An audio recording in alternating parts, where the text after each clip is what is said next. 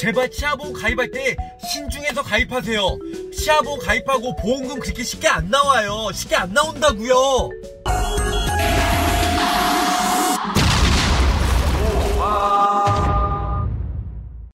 굿모닝 보호망입니다. 반가 반가 반갑습니다. 자 치아보험 하면 보호망 보호망 하면 치아보험인데요. 많은 분들이 대단한 착각을 하고 있는 것 같아요. 바로 뭐냐면 치아보험 가입한 다음에 우리가 지금 가입된 그 금액대로 뭐 임플란트 시에 200만원, 150만원, 크라운 시에 50만원, 40만원 정해진 금액이 나온다고 생각하는 사람들이 있는데요. 이건 정말 큰 오산이란 겁니다. 물론 한두 군데 정도는 보험회사 가입을 한 다음에 보험금 청구하면 조사 시스템이 없기 때문에 보험금 정말 잘 나오는 회사도 있어요. 하지만 M사나 아니면 또한 H 손해보험 쪽 몇 군데에서는 치아보험 청구하면 내가 5년이나 10년 동안 병원에 안 갔다 할지라도 무조건 100% 조사가 나와서 어떻게든 보험금을 안 주려고 멍멍 말도 안 되는 소리를 떠든다는 거죠. 또한 중요한 게 뭐냐면요. 어떤 고객들은요. 내가 20년 전에 크라운 해가지고 병원 한 번도 안 갔어요. 그래서 위임장을 통해서 조사를 했는데 병원 안간 내용들을 확인했음에도 불구하고 보험금을 지급을 안 해주고요. 예전에 치료 받았던 내용이기 때문에 보험금 못 줍니다. 이렇게 나와 있다는 거죠. 자, 치아보험은요, 거의 모든 보험사가 이 엘사 생명을 필두로 일단은 공통된 약관을 쓰고 있는데요.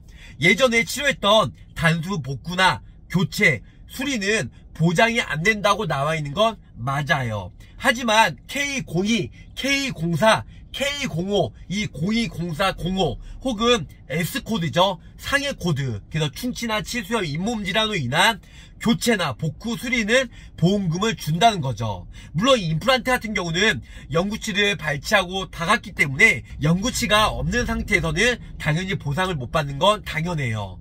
그럼에도 불구하고 예전에 치료받았던 내용들로 인해서 임플란트나 크라운 했는데 보험금을 못 준다. 이거는 정말 말도 안 되는 개소이란 겁니다. 절대로 받을 수가 있어요. 자, 또한 어떤 분들은 내가 10년 동안 치과를 안 갔어요. 근데 발치된 게 몇 가지가 있네요. 근데 보험회사에서 보험금 청구했는데 아, 이 발치한 거 있기 때문에 보험금 못 줍니다. 아, 여보세요. 저는 5년, 10년 동안 병원에 안 갔는데 혹은 나는 예전에 20, 30년 전에 발치한 거예요. 이거는 임플란트 안 했고요. 근데 왜 보험금 못 주나요? 이렇게 따지잖아요. 그러면은 그 전에 발치가 했다는 내용들을 너네가 찾아와. 그럼 내가 보험금을 줄게. 이렇게 협상 아닌 협상을 하는 회사들이 몇 군데가 있다는 거죠. 자 근데 이거는 엄청난 착각이에요. 보상하지 않는 손해에는 보험회사가 찾는 거죠.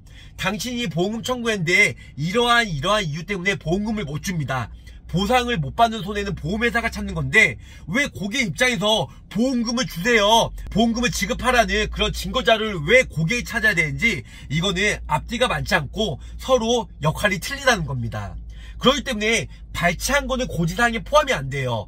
발치를 5년 이내 했다. 그러면 병원 내에서 치료를 받거나 병원에서 발치했으면 고지사항에 포함이 되지만 집이나 뭐 싶다가 그냥 빠졌다. 이러한 부분들은 고지사항에 포함이 안 된다는 겁니다. 고지사항은 병원에서 치료받고 병원에서 발치하고 병원에서 치료받은 내용들이 고지사항이지 몇십 년 전에 혹은 집에서 자연 발치된 거는 고지사항에 포함이 안 된다는 겁니다. 이러한 내용들 때문에 정말로 보험회사 측에서 보험금을 안 주는 사례가 많기 때문에 무조건 무조건 조심하시고요. 저 보험왕이 이런 얘기들을 요즘에 많이 해드린 이유가 뭐냐면 치아보험은 저한테 가입하셔도 감사하지만 저 말고도 홈쇼핑이나 다른 지인석회사한테 가입을 해도 상관은 없어요. 어차피 똑같은 상품은 어떤 판매처에서 가입을 하느냐에 따라 틀리니까요. 근데 매우 중요한 건 뭐냐면요. 보험 가입 이후에 사후 보상관리나 보험금 청구 혹은 보험회사가 안 주려는 꼼수에 대해서 대처 방안 그리고 보험금을 안 주려는 회사들을 피해서 가입을 하시라는 겁니다. 그렇기 때문에 요즘에 치아보험 가입하고 나서 보험금 청구 시에 여러 가지 사유를 저 보험왕이 사례를 통해서 설명해 드린 거고요.